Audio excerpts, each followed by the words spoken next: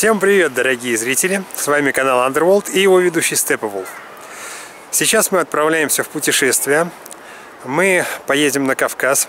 А, планы очень большие. Это Кабардино-Балкарская республика, это Северная Осетия.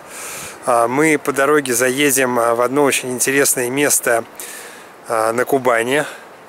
Мы будем проезжать в Воронеж, собственно, отправляемся мы почти на три недели в путешествие.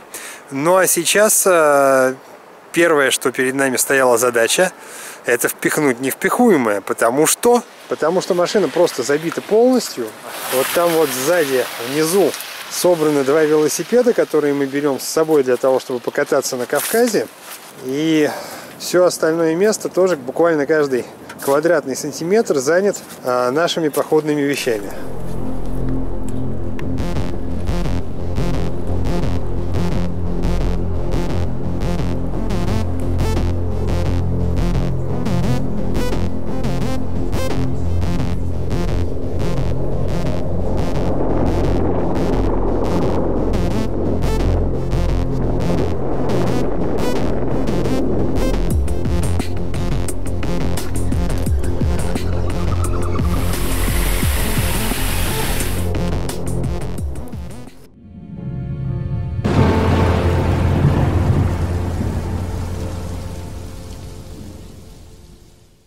Итак, мы добрались до первой нашей остановки.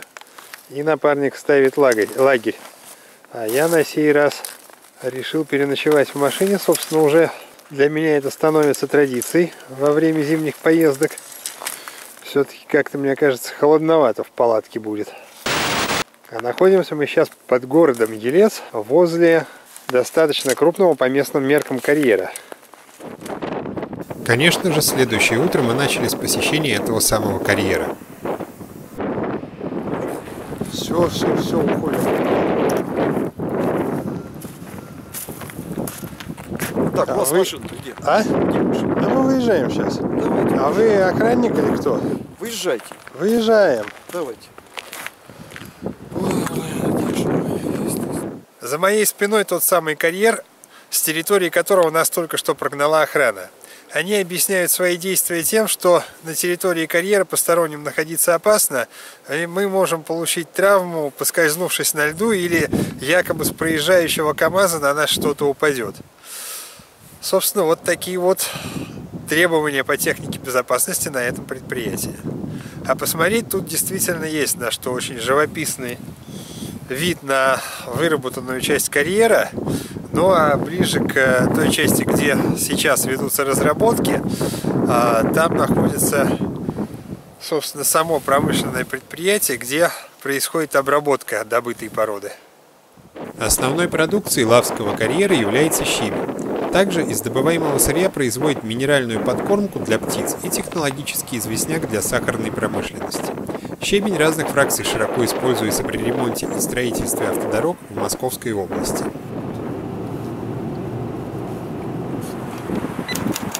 Оказывается, вот такие памятники есть в городе Воронеж.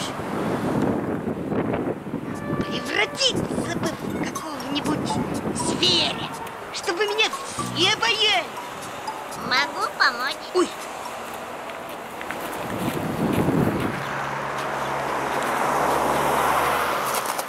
А сейчас мы находимся в знаковом для Воронежа месте. А вот эта ротонда является памятником Великой Отечественной войны. Дело в том, что район, в котором мы сейчас находимся, в период освободительных боев за Воронеж а, на протяжении более полугода переходил от а, гитлеровских войск к советским и обратно. Здесь шли очень ожесточенные бои, и вот на этом месте находился корпус больницы, а, к которому относилась эта ротонда. И вот весь этот больничный корпус очень сильно пострадал во время военных действий. Именно в связи с этим было решено его не восстанавливать. А сохранившуюся ротонду а, решили оставить именно как памятник освобождению Воронежа, памятник Великой Отечественной войны. Еще интересный момент, что в этой ротонде располагался учебный зал медицинского института.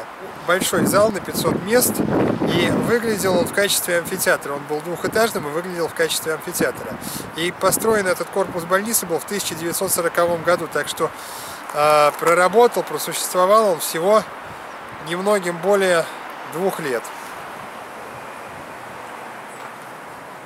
А еще очень интересный момент, что под этой ротондой есть подвал, в котором по кругу также расположены колонны, которые в точности повторяют э, ритм, рисунок этих колонн на первом уровне, на наземном уровне.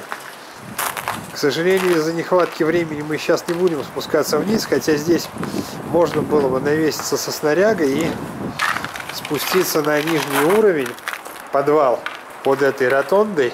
Но, увы, как обычно, у нас проблема со временем. Нам надо выдвигаться в сторону Ростова-на-Дону.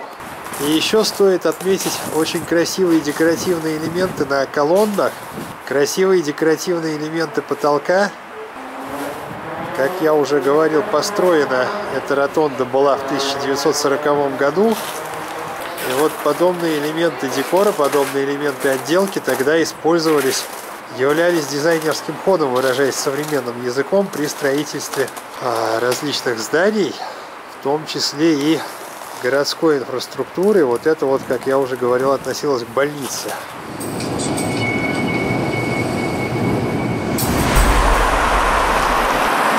Ну а там набережная, дом. В Ростове-на-Дону мы заехали посмотреть одно из самых необычных мест этого города – Парамоновские склады. Это комплекс складских зданий, построенных в период с середины 19 века до конца 1890-х годов возле так называемой Хлебной пристани на берегу Дона. А вот как выглядят эти склады с фасада. Особое внимание хочется обратить на двери. Такое впечатление, что они сохранились еще со времен постройки складов. В этот период пшеница являлась одним из основных товаров, экспортируемых ростовскими купцами в Англию и другие страны Европы.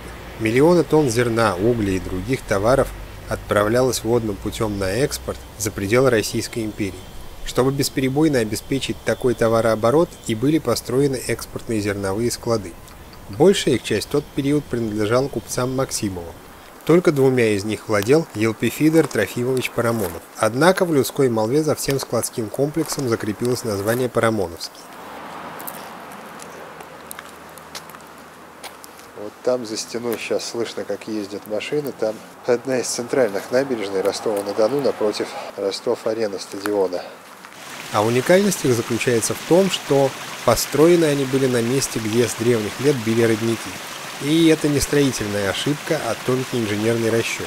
Воды этих самых родников направлялись по специальным коллекторам, проложенным внутри зданий и под ними, с целью охлаждения складских помещений и создания постоянного микроклимата, благоприятного для хранения зерновых культур. Грунтовые воды, которые образуют этот родник, достаточно мощным потоком вытекают из здания, внутри здания склада этот комплекс складских зданий тоже разрушенный, являющийся памятником архитектуры, но, к сожалению, сейчас находящийся в совершенно ужасающем состоянии, находится там, где текут родники. Даже есть, есть небольшая памятка, где написано об этих родниках и привезли некоторые выдержки из закона, из федерального законодательства. Но интересно здесь другое, что сейчас специально была построена система водоотведения, и вода из этих парамоновских родников сбрасывается в коллектор, и уже по этому коллектору сбрасывается в Дон. А раньше, до этого, вот эта территория складского комплекса фактически была затопленной. И вода стояла, образовывая своеобразные бассейны. Да, вот как раз там можно видеть внизу набережную Дона. Там видно перед забором большой колодец бетонированный. Как раз вот по системе этих трубопроводов вода из родников сбрасывается в Дон. А это выглядит один из колодцев системы. Скорее всего уже последний колодец перед выходом системы в Дон. Мощность струи, конечно, впечатляет. Интересно, что складка самого колодца выложена из белого камня, и можно предположить, что эта система водоотведения достаточно старая. К сожалению, судьба этого уникального архитектурного ансамбля сложилась незавидно. И все самые негативные события произошли в последние десятилетия. Склады, ставшие памятником архитектуры федерального значения еще в советские времена, пережившие немецкие бомбардировки во время Великой Отечественной, исправно служившие по своему прямому назначению до конца 1990-х годов, ставшие в последние десятилетия излюбленным местом отдыха горожан, фактически оказались на грани уничтожения. В 2000-х годах в одном из складских корпусов местные энтузиасты оборудовали бассейн-купальню, который наполнялся родниковой водой. Однако в 2016 по инициативе фирмы, которая заключила с городскими властями договор на аренду складов и территорий, бассейн был разрушен. На территории складов вырублены старые деревья. Будущее этого уникального комплекса весьма туманно. Несмотря на то, что здания складов являются памятником архитектуры, глава администрации Ростова Сергей Горбань сообщил, что все здания парамоновских складов признаны аварийными и подлежат демонтажу и воссозданию. Тогда же было объявлено, что сохранение купальни не запланировано. Это цитата из Википедии. Забавная ситуация, когда разрушенные склады используют для складирования городского имущества, ну и еще какого-то хлама. Причем, в принципе, тут хлам-то такой, который, видимо, в летний период используется. Рядом со стеной здания, сейчас очень плохо видно, расположен какой-то вход, портал, Пока не совсем понятно, что это такое, для чего это сделано, но я сейчас отправлюсь туда и постараюсь выяснить это. И поднимаясь по склону вверх вдоль стены здания, мы обнаруживаем здесь портал, выложенный из кирпича.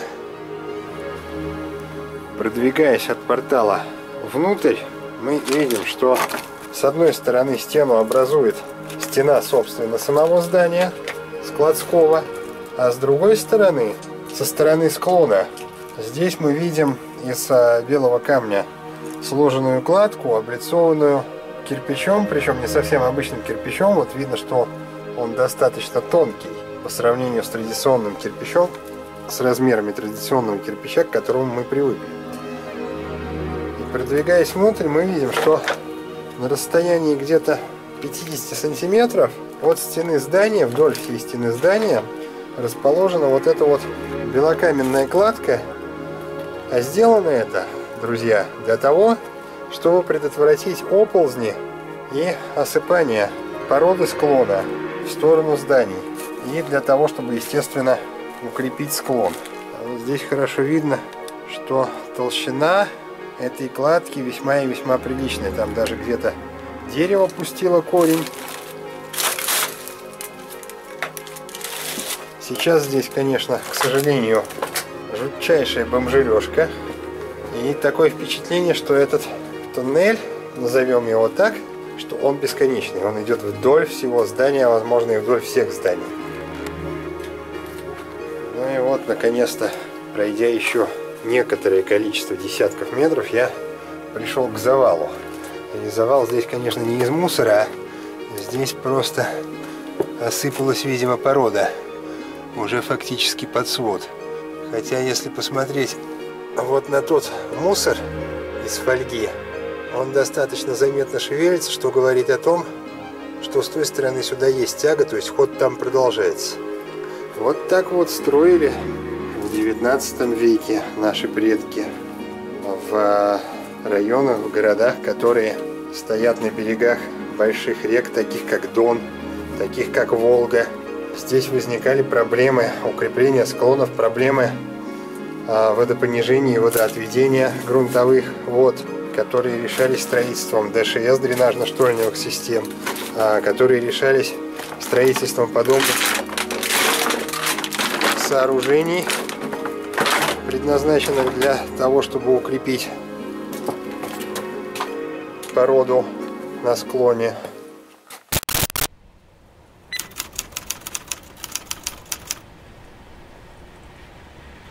Несколькими часами ранее мы побывали в некогда сверхсекретном объекте, на запасном командном пункте Северо-Кавказского военного округа и в подземной лаборатории, где производились исследования в сфере...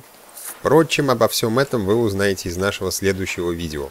Оставайтесь с нами, не забудьте поставить лайк этому видео и поделиться им со своими друзьями. Всего вам самого наилучшего и до скорых встреч! Thank you.